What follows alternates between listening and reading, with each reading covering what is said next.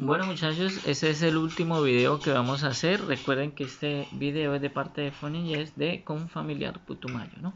Entonces, eh, ustedes están en, este programa. Esperemos pues que con estos videos ustedes puedan presentar de la mejor manera sus trabajos, ¿no? Entonces tenemos la siguiente información. Tenemos un triángulo donde tenemos un ángulo, dos lados y si nos vamos a la hojita, eh, tenemos un, dos lados, dos lados contiguos pero un ángulo que está lo opuesto a unos lados, miramos cuál caso es, sería este, ¿no? LLA. Entonces tenemos dos lados y un ángulo en uno de esos dos lados, que eso sería este, ¿no? Dos lados, estos dos lados y un ángulo en uno de esos lados. Entonces, ¿qué sucede? Este es el, caso del LLA, ¿no? Entonces, recuerden que si yo tengo un ángulo, ya lo hemos dicho en los videos pasados, un ángulo y su opuesto, como en este caso, debo aplicar ley de senos.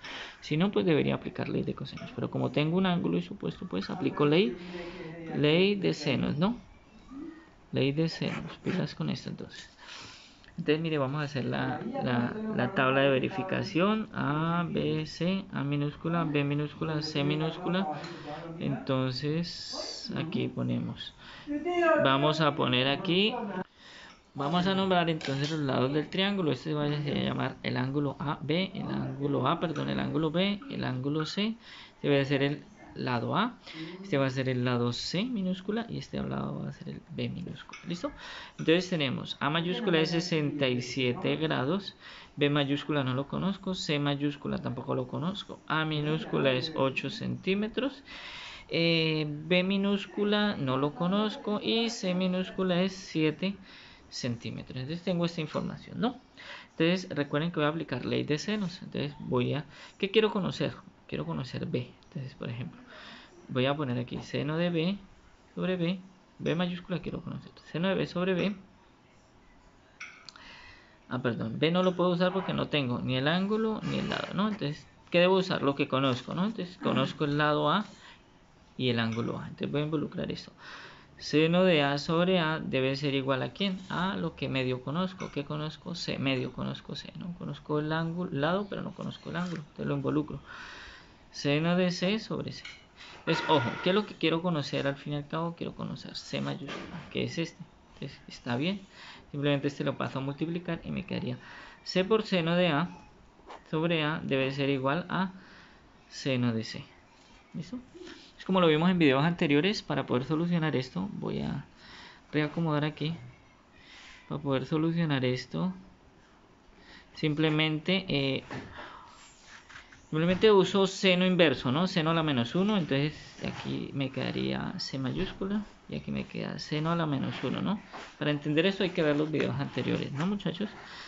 Por C, este C minúscula, seno de A sobre A minúscula. Aquí lo tenemos. Entonces tenemos C mayúscula es igual a seno a la menos 1 de C. ¿Quién es C? Pues miremos C. Ese 7. Seno de A. Seno de A seno de A mayúscula, ¿no? ¿Quién es A? 67. Seno de A mayúscula. Seno de A mayúscula, o sea, de, perdón, de 67 grados, ¿no? Y miramos, eh, sobre A minúscula, A minúscula es 8. 8 centímetros, ¿no? Entonces, eh, con esta información, ah, voy, a, voy a terminarlo acá, ¿no? ya metemos en la calculadora todo. Sería Shift seno, ¿no? Shift inversa. Recuerda que la calculadora tiene que estar en modo deck. Si no puede, entonces lo oprime Shift modo, lo oprime en, 3, que aparezca el deck. Y le idea poner una D pequeñita acá, ¿no? Entonces tenemos seno a la menos 1, ¿de quién? De 7 por seno de 67. Y todo esto lo dividimos entre 8, ¿no? Cierro aquí y lo divido entre 8 y 0 paréntesis. Y damos igual y eso me da que C es 53,65. 53,65. Esos son grados. Verifiquemos. Voy a ponerlo aquí. 53,65 grados. Verifiquemos aquí. Estamos hablando del ángulo C, ¿no? El ángulo C, aquí está. Pongo su centro, centro, el vértice. Lo pongo en el centro del transportador. Alineo aquí con el 0 de centro y cero y mido el ángulo. El ángulo lo mido aquí 10, 20, 30, 40, 50 y 54 me dio aquí, que es muy similar a 53,65 que habíamos dicho, ¿no? Entonces mire que el ejercicio va bien por el momento, ¿no? Entonces ya tenemos aquí, nos falta encontrar el ángulo, nos falta encontrar aquí el ángulo B. Listo, vamos a hallar el ángulo B. El ángulo B, pues como es el último, es muy fácil de hallar. Lo voy a hacer acá, recuerden, lo voy a hacer acá. Lo hago aquí, pero un momento. Entonces el ángulo B, voy a, voy a, hacerlo por acá. El ángulo B, como es el último, se puede hallar restando los demás anteriores a 180. A 180 le restamos los demás ángulos, ¿no? Entonces recuerden, el primer ángulo valía 67 grados. Le resto el otro, creo que el que acabo de encontrar que sería 53,65 grados. voy a restar. Lo hacemos en la calculadora, ¿no? A 180 le resto 67, le resto 53,65. Y ahí encuentro que B es igual a 59,35 grados. Aquí ya tenemos la información del último ángulo, 59,35 35 grados. ¿no? Entonces, ¿qué me faltaría? El último lado. El último lado, entonces, fácil de hallar con la ley de senos. Recuerden, ley de senos.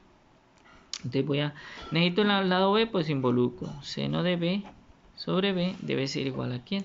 Algo que ya conozca, originalmente conocía lo de A. Entonces voy a involucrar lo de A para no tener aquí problemas, ¿no? Entonces recuerden, tengo que conocer esto, entonces voy a invertir las fracciones para poder despejar más fácil, ¿no? Me quedaría seno de B, aquí B sobre seno de B y es igual a A sobre seno de A. Entonces yo quiero despejar B, este lo paso a multiplicar, entonces me queda B es igual a A seno de B sobre seno de A. Reemplazo. ¿Quién es A minúscula? A minúscula es 8.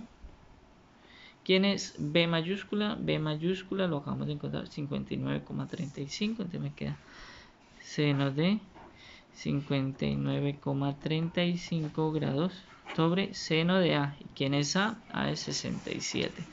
Seno de 67. Entonces aquí encuentro que B, hay una calculadora, tenemos aquí 8 por seno de 59,35 dividido entre seno de 67. Eso es igual a 7,35. 47 centímetros, ¿no? Mire que aquí está B, B es 7, 7,47 centímetros y lo, mide, lo medimos. B, 7,47.